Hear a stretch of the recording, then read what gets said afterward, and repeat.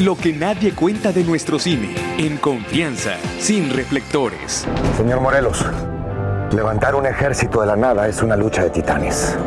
He tenido, como cine latino lo sabe, me han, me han propuesto pues, muchos personajes, he hecho muchos personajes de un perfil eh, rudo, fuerte, malos, narcos, este, violadores y de todo tipo.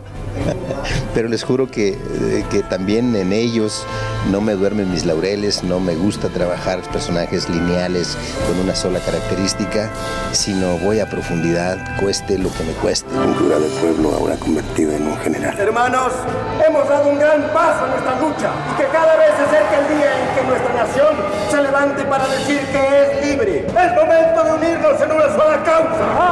¡Nuestra independencia! El gran reto de hacer Morelos es que la sociedad mexicana, todos los mexicanos conocemos a Morelos.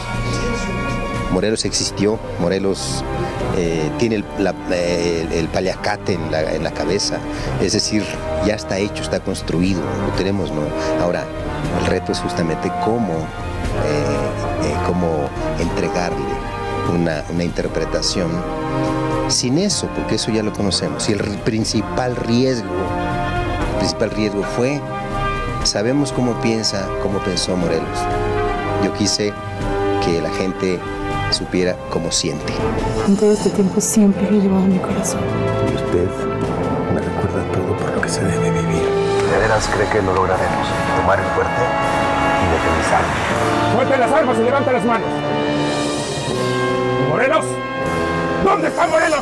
Es un hombre, un hombre que es capaz de sentir también mucho y en, en- en el amor, el amor por construir un país, el amor lo hace llevar también a tomar malas decisiones y bueno, eso es lo que nos hace complejos al ser humano, ¿no? Sería capaz de arriesgar todo por el general Morelos. A veces hay que dejar algunas cosas en el camino. Si no aceptan, los sitiamos. ¿Hasta este momento sería su personaje más importante? está peleándose muy fuerte con, con el capitán del violín, que yo le tengo un- un- una entrañabilidad, lo quiero muchísimo. eh, y bueno, hay personajes pequeños, pero no menos grandiosos como, como el sargento de- de- de- del infierno.